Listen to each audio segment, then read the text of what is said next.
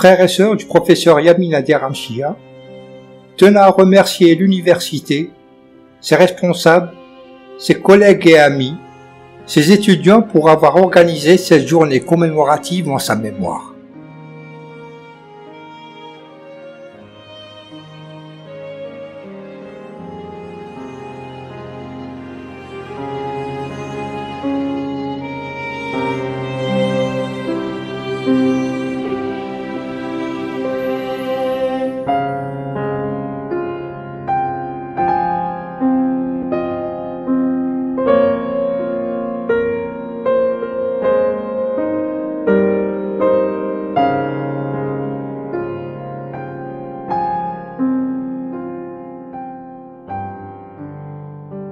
Ce diaporama d'images marque le passage transitoire de l'enfant était à son âge adulte.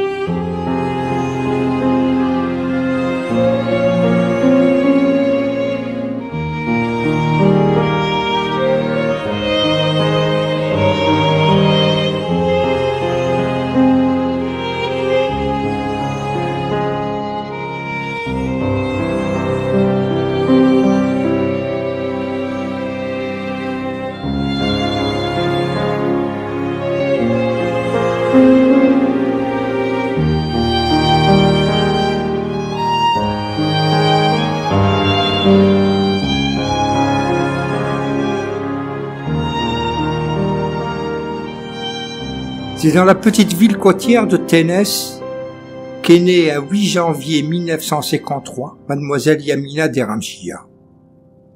Issue d'une famille nombreuse, composée de cinq frères, deux sœurs dont elle était la troisième, d'une mère illettrée et d'un père plombier, il n'en demeure pas moins qu'elle eut une vie heureuse et épanouie.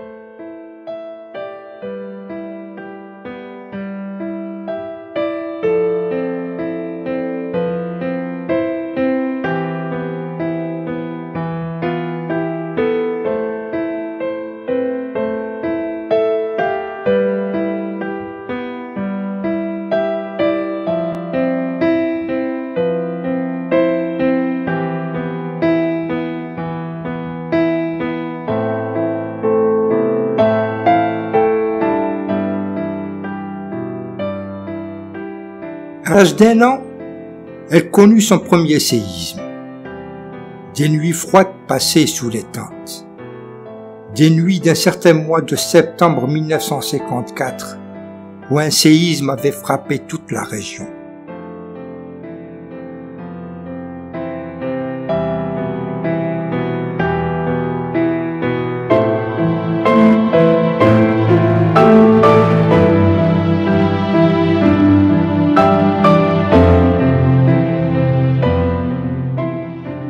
Première scolarisation fut à l'école maternelle de cette petite ville. Ses souvenirs y sont restés gravés à jamais dans sa mémoire. Elle parlait souvent de ce grand arbre où elle allait prendre son goûter à l'heure de la récréation.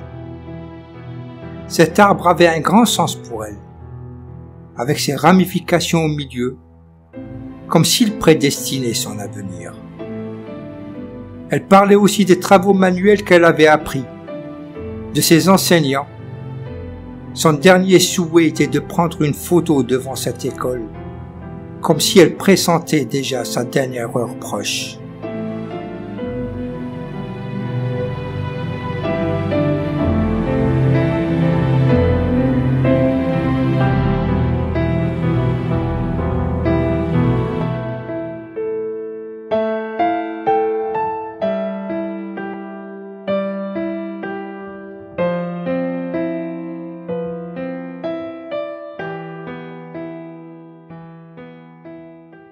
En 2008, une grande nostalgie de la ville qu'il avait vue naître lui prit. Elle alla retrouver son école primaire, sa table au premier rang, la cour de récréation où ses souvenirs d'enfance défilaient dans sa mémoire. C'était là qu'était née son âme de professeur.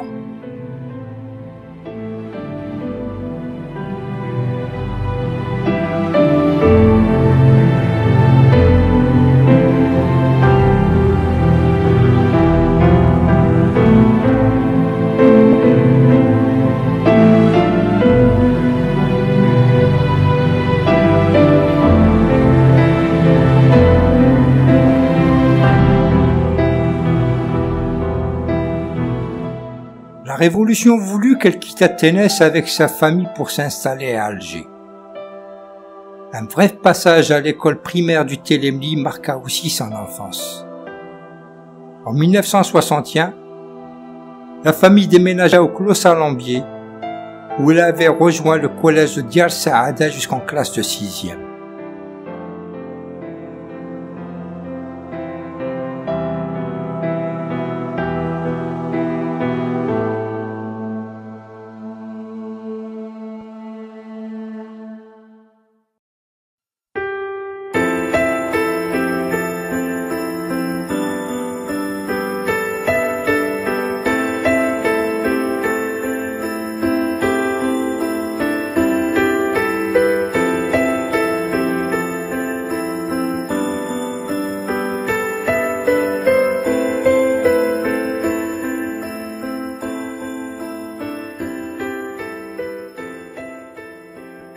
Après le collège, c'était au tour du lycée Fromentin de l'accueillir, où elle avait réussi triplement.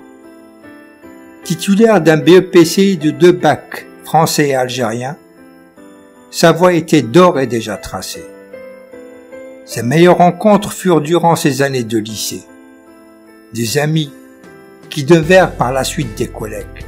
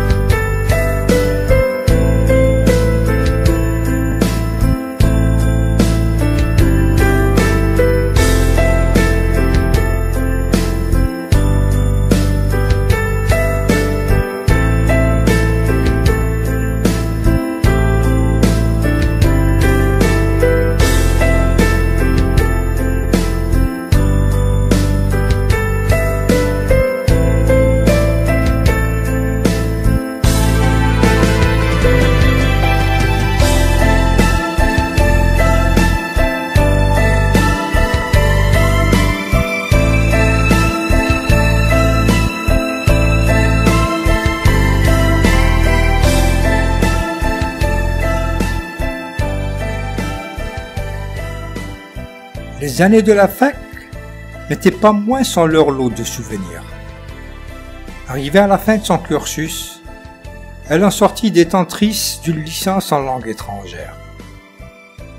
Toujours avide du savoir et en plus des langues apprises au lycée, latin, arabe et français, elle prit des cours de russe, allemand, espagnol et italien.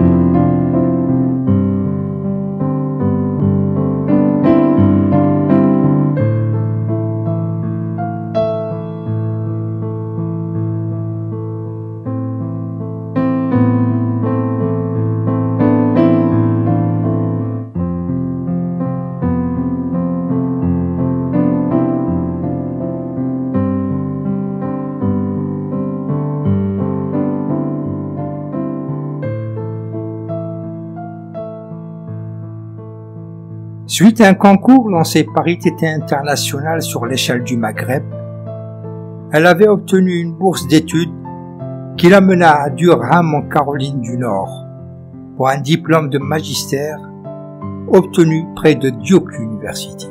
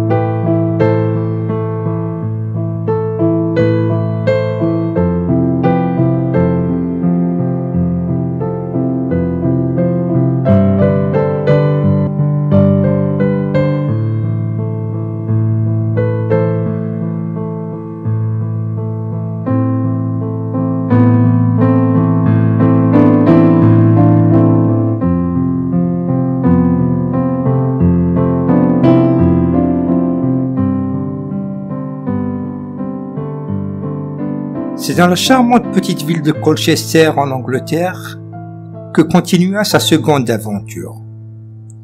Après ses cours, elle aimait se promener dans ce grand parc où tout était en fleurs. L'université était son lieu de prédilection. Elle y passait une grande partie de son temps.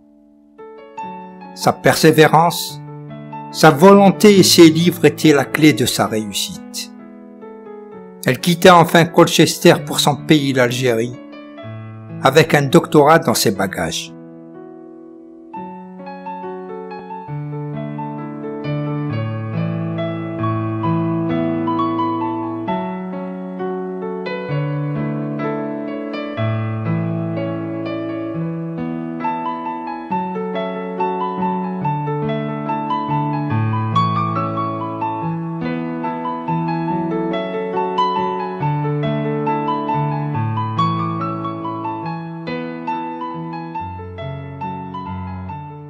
De retour en Algérie, elle gravit les échelons petit à petit jusqu'à occuper le poste chef de département, présidente de jury à plusieurs reprises. Elle n'avait jamais hésité à sillonner une partie du pays pour des soutenances en différentes universités, à savoir Tizi Ouzou, Annaba et autres. Son seul but était de former l'élite de demain qui saura prendre la relève. Là était l'essentiel de sa mission, la transmission du savoir.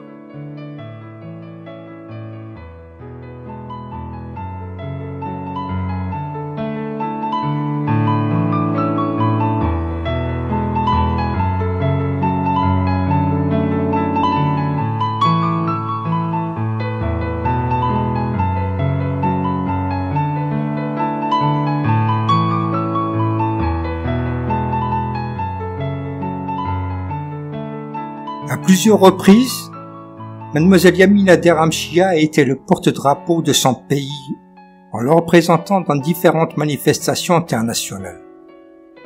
En 1997, avec certains collègues, pour la première conférence en Jordanie.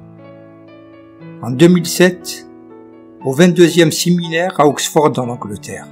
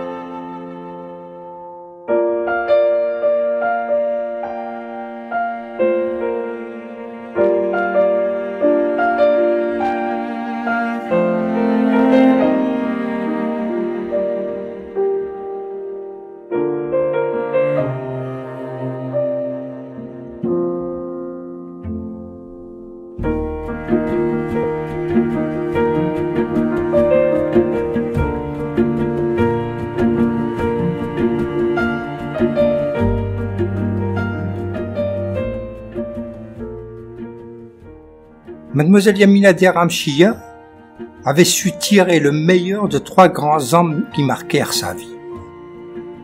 Elle savait gérer son temps entre études et passions.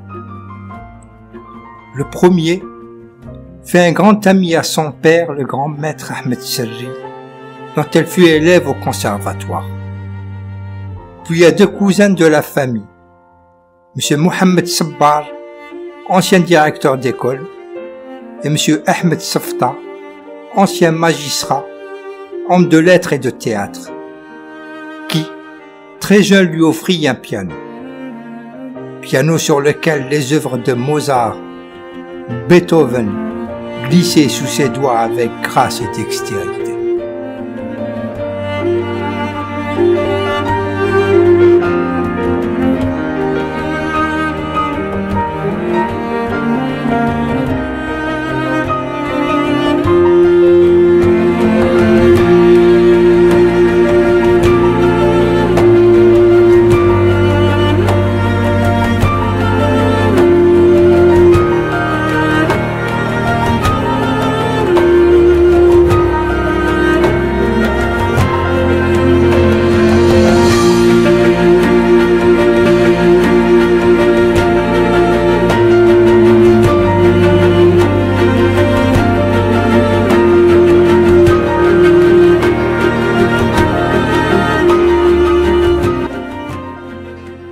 Timide et discrète, mademoiselle Yamina Deramchia était restée attachée à ses origines.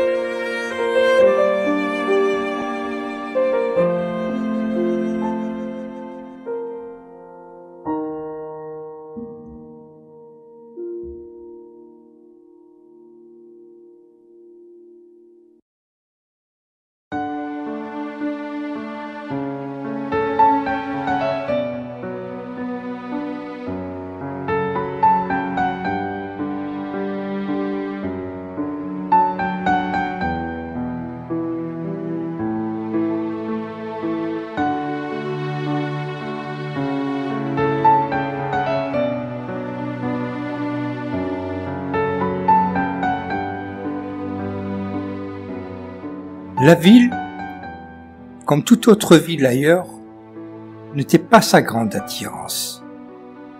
Elle aimait surtout rendre visite aux ruraux, aux gens de la montagne, et qui même, en tant qu'inconnus, elle savait se faire une place dans leur modeste milieu. C'était là qu'était placée sa modestie.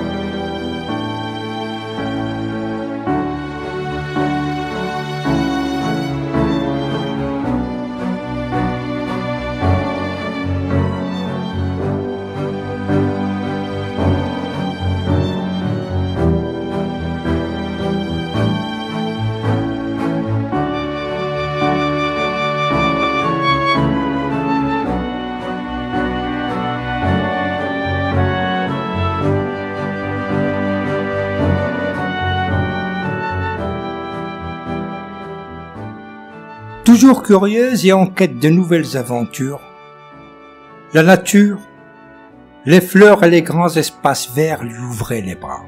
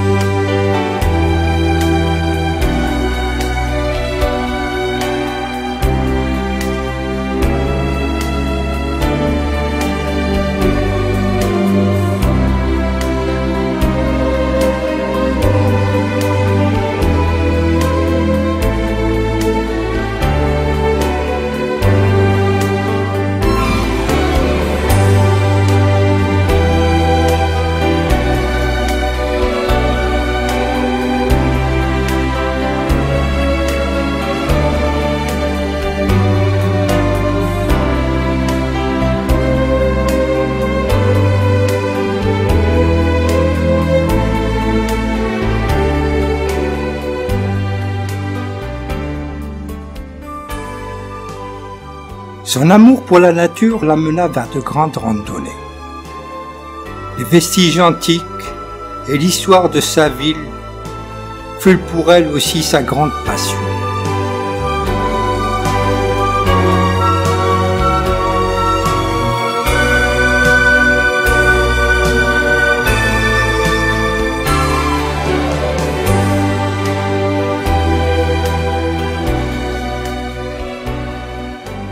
À la fin de sa carrière, Mademoiselle Yamina Derhamchia resta fidèle à son engagement professionnel, en participant à l'élaboration de la revue d'université.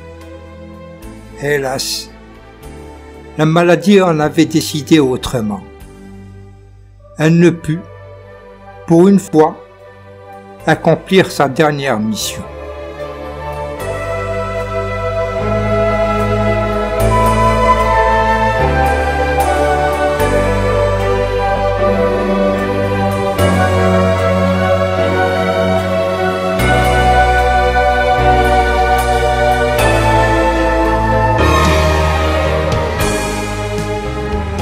C'est avec le cœur serré que se termine cette vidéo.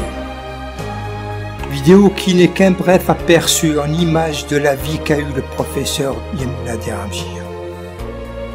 priant Dieu pour qu'elle repose en paix.